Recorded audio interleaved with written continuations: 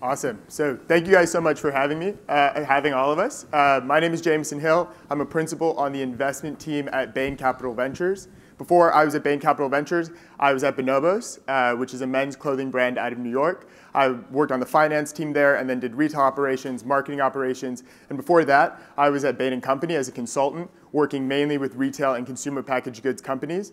And so I've had the uh, tremendous privilege of seeing retail from the consultant, operator, and now investor side. Uh, um, a little bit about Bain Capital Ventures. So for those of you who aren't familiar with us, uh, Bain Capital investment firm founded back in 1984. Uh, the whole, it was a friendly spin out of Bain & Company. The whole idea was to take the data-driven, results-oriented approach, develop a Bain & Company, and apply it to investing. And so uh, the first check that we wrote was a $600,000 check to open the first Staples. So we've been kicking around retail for a really long time.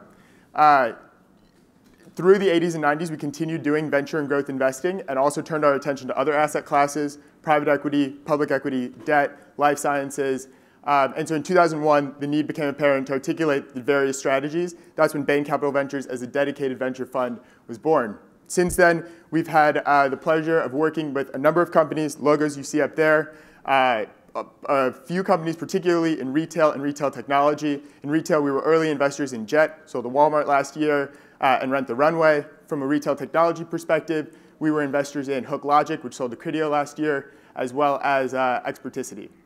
So, you know, my job involves sitting down with folks. I focus, you know, uh, sort of the majority of my time on supply chain and logistics technology. So some of the companies up there I work very closely with are Symphony Commerce, an e-commerce um, platform, as well as FourKites, which is a supply chain visibility platform, uh, as well as Onera and Flow, who I'll introduce uh, in a second.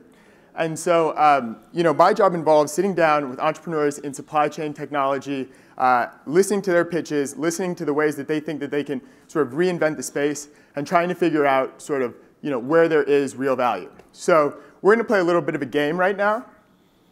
It's called Silicon Valley Buzzword Bingo. So, how many of you in sort of the last year have heard a pitch from a company that uses two of the terms up here? How many? Three? Four? Same pitch, four of these buzzwords. Five? All right, four is as high as we went, it looks like. Um, so there's a lot of hype, and there's a lot of true value behind some of these. Uh, when we turn to the panel, uh, we'll actually dive into some of these areas a little bit more deeply. Um, but just wanted to provide sort of a quick introduction into some uh, areas that we find um, particularly interesting. So again, continuing with our bingo, how many people have heard the term artificial intelligence in the last week? How many people are sick of hearing the term artificial intelligence? I'm with you. So, uh, you know, artificial intelligence, a lot of people talk about it. Not a lot of people know uh, exactly what it means or what it is. Uh, the thing that we find most interesting and the most promising approach within artificial intelligence is something called machine learning.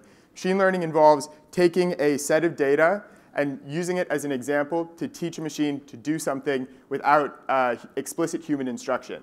And so when we think about, and we've been hearing throughout the conference, you know, interesting applications of machine learning, particularly within things like forecasting and inventory management. I really think about it in terms of anywhere that you can take disparate forms of data, combine them, and drive new and uh, differential insight is a good place to apply machine learning. Internet of Things, another very hot topic right now. You've got a lot of technology providers who come to you and say, hey, let me deploy these new sensor networks across your supply chain and give you some additional visibility or what have you.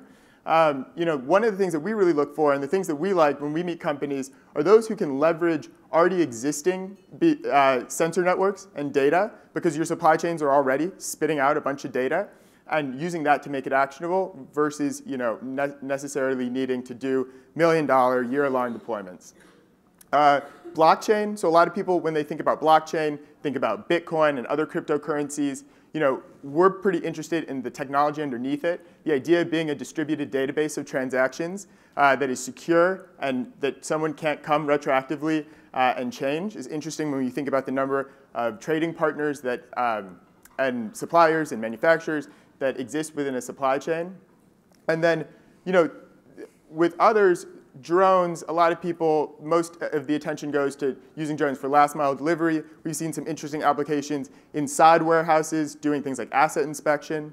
Um, augmented reality, I would say similar. It's not just Pokemon Go. Uh, there's other sort of using it for knowledge management uh, and uh, safety um, within manufacturing facilities uh, and elsewhere. And so uh, anyway, all of this new technology, all these trends are converging to sort of make your lives more interesting, but also more challenging in that the number of technology providers has absolutely exploded. And so in the same way that you guys uh, get pitched quite a bit in order to use new technologies, we get pitched to invest in them. We're excited about this space. We're extremely bullish on it. Um, and actually, you know, I see some of you guys taking photos. Take a photo of it. If you'd like the real thing, shoot me an email. I'm happy to share it with you. Um, and you know, we at Bain Capital Ventures are really excited about this space.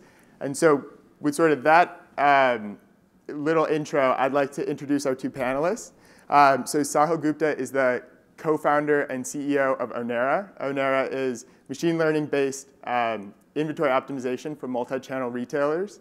And then Rob Keve is the co-founder, CEO of Flow, which is a cloud-based system that enables cross-border commerce. So uh, I'll sort of for our first question, just to kind of get you guys um, a little bit more about your background and sort of how you came to start your businesses, the thing that I'm really interested in is sort of, you know, in my job, I meet a lot of te interesting technologies that are looking for a use case, or you meet some interesting business problems where you can't really find the right technology. So I'm curious, how did you guys, in starting your companies, think about bringing the right technology to the right business problem at the right time? Uh, thank you. Thanks very much, Jamison. Um, I'm Rob Keve from Flow. Um, so to answer the question, Flow exists to help brands and retailers go cross-border. So I think the problem was well defined. It didn't need uncovering. The pain was obvious. We all receive site traffic coming from overseas, but it's not always converted, it's certainly not converted efficiently into being customers. Um, the genesis behind Flow was my co-founder, uh, Mike Bryzek, who was the co-founder and CTO of Gilt uh, here in the city. Um, and he had this very particular problem as a principal. So he was managing supply chain and the technology at the time. And over a period of about four years, they built it up into over $100 million in international business. But to do so, there was a myriad of challenges. How do you localize the website? How do you calculate duty and tax? How do you ship efficiently overseas? How do you take payments for international consumers?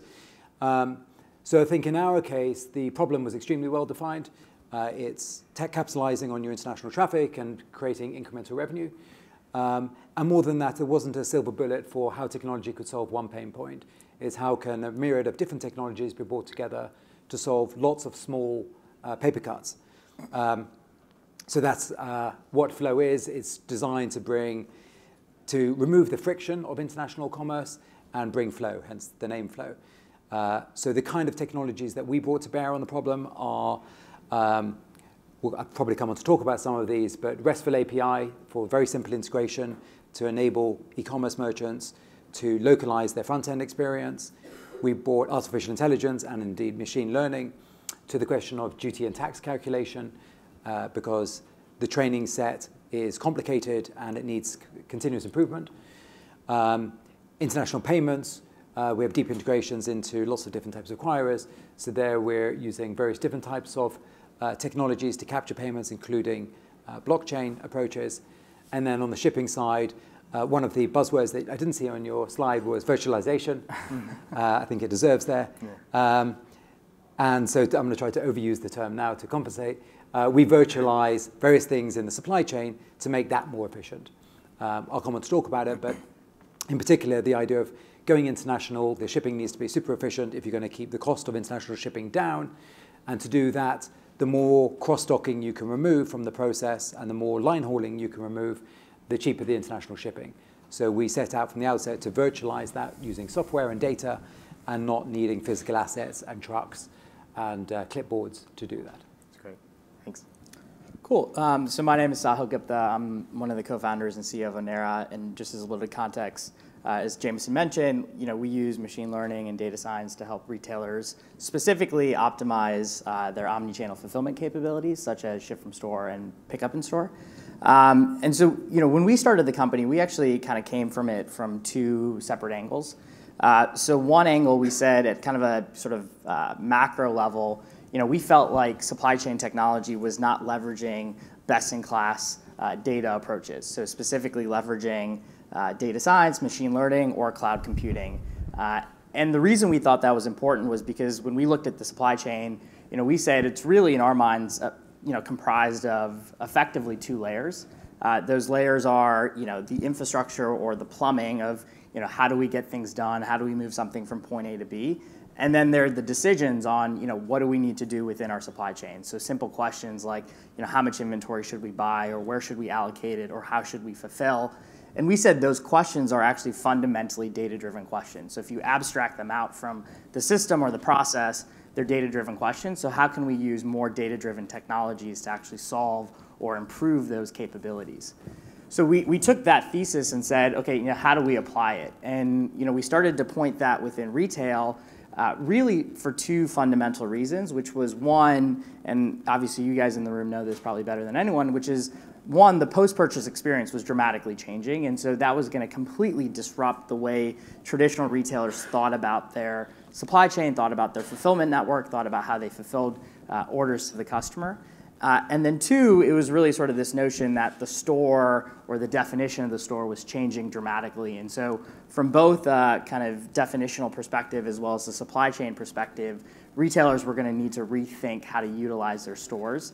Uh, they were applying a lot of uh, investments from an infrastructure and operations perspective in enabling those stores uh, within their supply chain. But similarly speaking, there was gonna be a lot of questions on: how do we more effectively utilize those stores, or how do we optimize those capabilities? So we sort of looked at that kind of lens and said, "You know, this feels like a really good place to apply some of these technologies or some of these methodologies."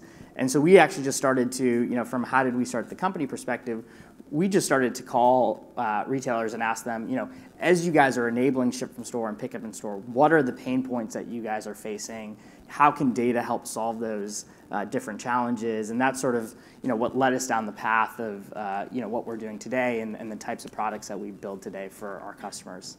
That's great. Thank you. So, you know, as we look at different categories of enterprise software, we see, you know, uh, varying rates of cloud penetration. So if you take something like customer uh, relationship management, you know, 50% of uh, software is deployed in the cloud. You look at HR technology, it's over 30%. You look at supply chain technology, it's generally very, low, in sort of the, you know, mid-single digits. Reason for that historically has been, you know, these are operational systems, and if your instance of Salesforce goes down for an hour, you know, it stinks, but hopefully your business doesn't grind to a halt. That's not true if your e-commerce platform, your ERP goes down. And so, you know, I'm curious as to how you guys thought about sort of building on the cloud, the the benefits that you can leverage from the cloud that are unique, and sort of, you know, how to think about the penetration of cloud within kind of the broader category of supply chain software. Uh, so from our side, there are a few benefits, and I think from our client side, the brand side, there's also several benefits. Um, from our side, it was the obvious starting point. Um, from capacity management perspective, it expands and is elastic to our needs.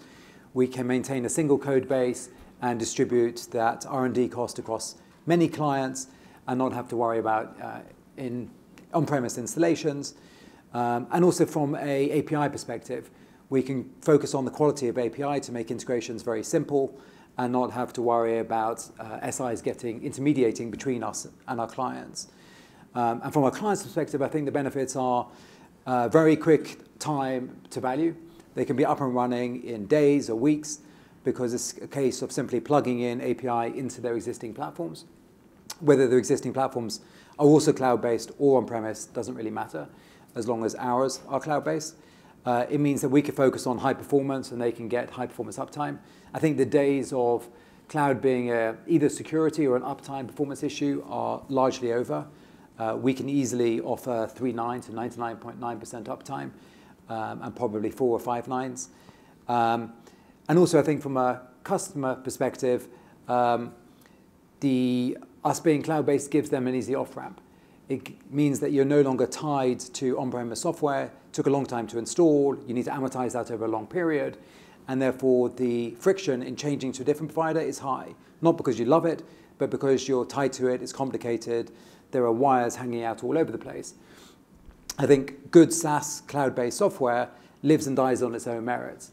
And if it's great, you'll keep using it for many years, but it shouldn't tie you to it for operational process or technology reasons. It should be a commercial decision. And I think us being cloud-based means that our clients can extract themselves from our platform if ever they didn't find enough value and move to another one with uh, a seamless barrier to entry. That's great. That's great. Thank you. Yeah, and I, I, mean, you know, when we think about cloud, and actually, interestingly enough, uh, oftentimes when we're in conversations with retailers, they'll ask us, you know, simple questions like obviously what is the cloud, but when to utilize the cloud, or how to think about when to leverage it.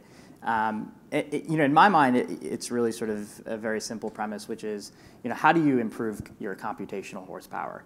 Uh, and so when you think about leveraging the cloud, specifically um, from an application perspective or a decision perspective, it's really all around the premise of, you know, we have enormous amounts of data and we want to be able to process that data actually, to actually generate insights and we want to do that at fairly uh, at a fairly high frequency or you know in some instances at web speed and so really the value of cloud computing is look at the applications where you have an enormous amount of data where you have to make decisions or draw insights from that data uh, at web speed, or you have to actually draw actions or derive actions from that data uh, fairly quickly. Those are the instances where we find cloud being sort of the most uh, valuable. And, and you know, for technology providers and where they can differentiate themselves, it's really by leveraging the cloud, taking the investment from an infrastructure perspective off of a retailer's plate and saying, you know, we can actually help you with those problems very specifically um, and you can sort of worry about kind of the infrastructure, the operations, et cetera. The other interesting thing that we're finding is that a lot of retailers are actually moving to the cloud themselves. So they're starting to put a lot of data uh, in the cloud, becoming more comfortable with AWS or uh, with Google. And again, I think a lot of that becomes uh, is relevant because it, you know, we live in a world where you have to have high availability of information. Uh, and specifically in an omni-channel fulfillment world, you have to have high availability of what inventory is across your network. And so that's an enormous amount of data which you have to have available. And uh, actually, your SLAs around cloud are much better than they are uh, with on-prem. Yeah. So, you know, I think you're seeing that shift now happen um, much more actively. That's great. That's great. Um, so I've got one more question for the two of you, and then I'd love to open up to the audience. Um, bo- you know, both of you leverage uh, machine learning in uh, your platforms, and so I'm curious as to uh, sort of how can, from someone from the outside looking in at a technology provider, you know, nearly every pitch that comes across our desk nowadays has machine learning somewhere in the pitch, and so how can you tell from the outside in who's really got machine learning, and how can you tell where it's going to drive the most value from a business perspective? Uh, so from my side, it's fairly simple. I think it's less about the means to an end, the technology, and more about the results. So I think whether they're using uh, virtualization or machine learning or some other technology doesn't matter so much as what are the results. Um, and I think the proof is in the pudding. So I think I'd encourage you all to test vendors, uh, either with your own data sets to see how they perform in a real world situation, or look at their use cases and reference them to see uh, to what degree the technology is actually delivering on those results. In our case, the area of the supply chain for international e-commerce that we use machine learning is on duty and tax calculation. It's a very complicated area about exactly what is the right harmonization code for each product based on the country of origin to one of 220 countries in the world. And the combinatorial explosion of the number of countries, number of different product categories, number of different countries of origin, materials, is enormous. Uh, and more than that, the added complication is even though there is a, a, right answer, ultimately it's assessed by a customs official, which is a person at borders. So even the theory may end up being wrong in practice. So it's a perfect example of how you can use great machine learning. You need, for good machine learning, a great training data set. So data which is clean, where the result is correct, the outcome is right, and then you can keep feeding it with real world data. So we do that. We see for all of our many, many hundreds of thousands of different products, how they're being assessed at borders, what the right duty rates are, feeding that back into the model to further improve the self-learning curve. So if a merchant was sitting opposite us, I'd encourage them to look at the quality of uh, the duty and tax rates of the products that we're shipping, or even uh, assess their catalog and see to what degree it's accurate. And I think that the proof is in the pudding, and they'll see the better performance. That's great. Yeah, I, mean, I think um, obviously a lot of vendors talk about machine learning. I'd probably argue most don't actually leverage machine learning, but the simplest way to kind of think about, you know, when machine learning is actually applicable or when someone's actually using it is the idea that, you know, really what machine learning is trying to do is help you estimate something.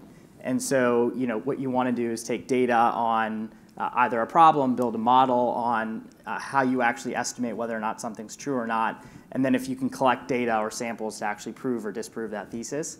And so, you know, where is machine learning then applicable? It's typically applicable in those areas where you actually have uh, an iterative process yourself. And so it might be through Excel, it might be through some spreadsheet where you're making a decision, and then, you know, next week you're basically looking to see was that the right decision or was that the wrong decision that is sort of in almost a layman's world kind of what machine learning is trying to do.